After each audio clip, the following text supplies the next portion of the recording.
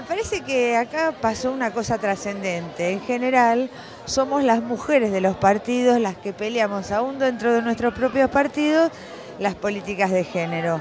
Acá las está encabezando nuestro propio candidato. Y efectivamente, los temas de las mujeres son como casi todos los temas del país, con una cuota que hace que sea, los mismos problemas peor. O sea, la pobreza es peor en las mujeres, el desempleo es peor en las mujeres, el trabajo negro es peor en las mujeres. Y creo que lo que ha hecho Sergio es una síntesis de lo que proponemos para resolver cosas que van desde que haya jardines maternales para que las jóvenes puedan seguir estudiando y trabajando hasta pelear duramente contra la trata.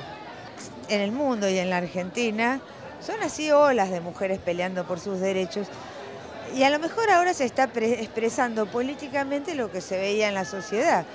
Esto que ya dijimos cuando hablamos en el acto, si vos mirás quiénes son las que pelean hoy por derechos, son todas mujeres las madres del Paco, las, las organizaciones contra la violación, contra la violencia, este, son todas mujeres. Y yo creo que esto hoy empieza a tener expresión política. Y nosotras tenemos casi diría el deber moral de encabezar esa ola. Mire, yo creo que lo mejor que nos puede pasar como argentinos es que cada uno de los candidatos sigamos contándole a los argentinos la propuesta. Porque no se trata de voto útil como si usáramos a la gente o de voto miedo como extorsionando en algún caso, sobre todo cuando le meten miedo a aquellos que tienen planes diciéndole que se lo van a sacar.